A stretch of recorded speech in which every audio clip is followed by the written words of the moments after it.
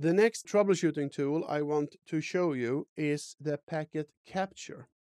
If you're familiar with the packet capture applications like TCP dump or Wireshark, you will recognize this. Packet capture is a functionality in the firewall to store a copy of packets going through the firewall for later analysis, or at least see what packets are going through the firewall. And to use the command packet capture, you use the command capture. The capture command is used to start a capture session and you can use the command show capture to see which captures you have currently configured in the firewall because you can run multiple capture sessions at the same time in the device. But the command capture is used to start a new capture and the first thing you need to specify is a name for that capture. My capture. It's just a local name that you can reference in later on. Capture my capture. Then you specify normally an interface and that's the interface you want to capture packets from. And in this case, I use, for example, inside. And I normally want to see that there is packet flowing. I do not specify any more than real time. Real time means that I get the information on the screen in real time right here in this session. And I can do that to show you. And it writes one line per packet.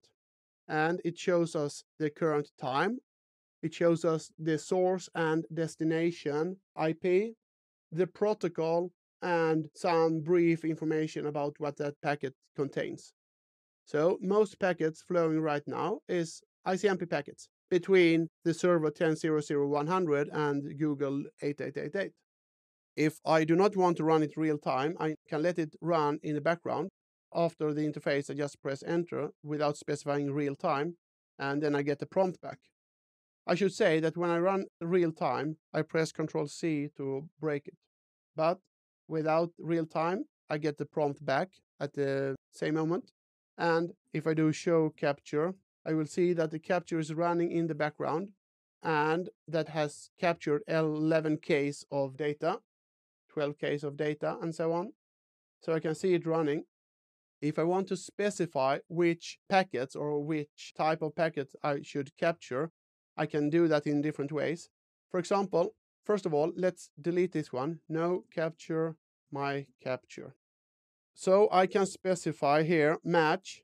I write the match keyword and then I can specify protocol like, for example, TCP, any, any. So I specify all TCP packets. Show capture my capture. Actually, no packets has been stored yet because there's no TCP packets going through the firewall right now. And if I do no capture, I delete the capture and I change it to match for ICMP instead. Any, any, there I will receive the ICMP traffic only. That's one way to specify it directly on the command line. Another way is to create an access list. Then I need to go into configuration mode and show run and create an access list for specifying what packets to capture. I do a access list capture. It's just the name of the access list. Extended permit ICMP any any.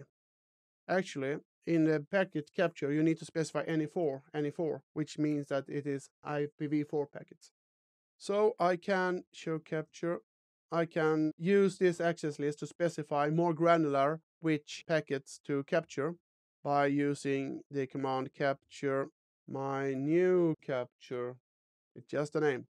Access list, and I have forgotten the access list name. Show run access list.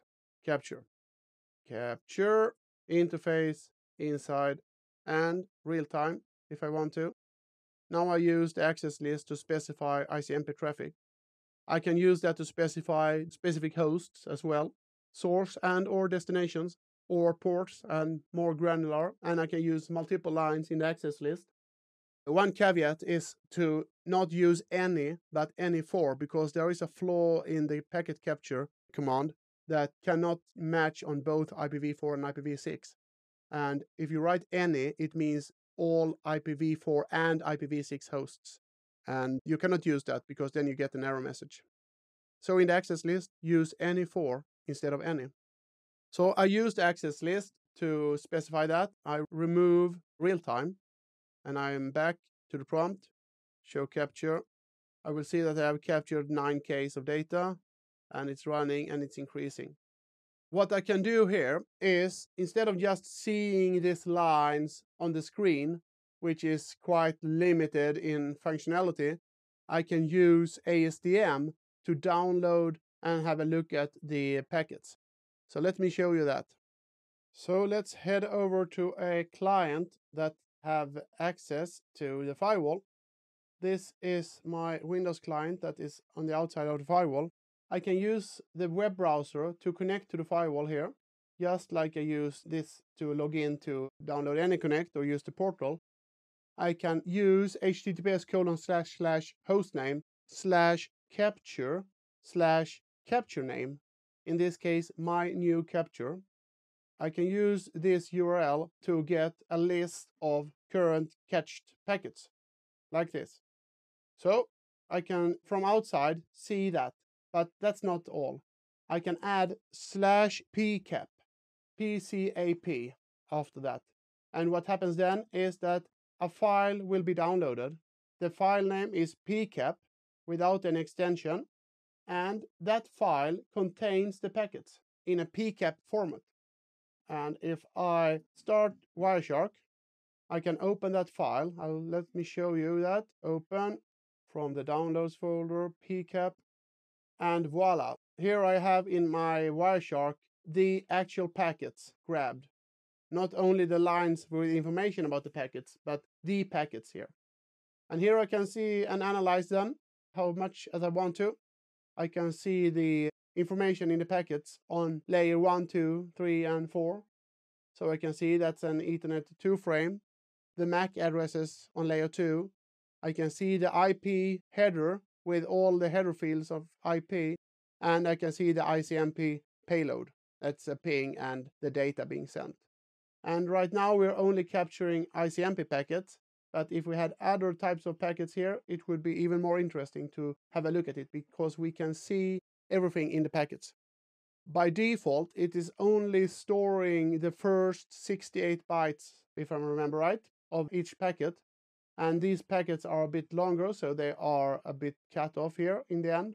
But we can change that with a capture command as well to make sure that we grab all packets or more parts of the packets.